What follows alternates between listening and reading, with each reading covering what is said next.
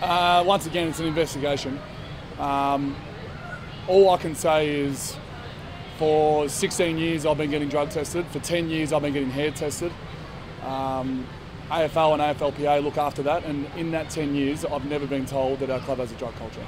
I can only go off, yes, there is a latest, latest development, yes, the investigation, if it proves to be true, there is a player that's taken illicit drugs. But we're naive to think that doesn't happen in society. I get we're a, a high level um, performing in industry and we'd love zero. But until I get told that we have an issue or I can see the issue myself in my own eyes, I can only go off face value.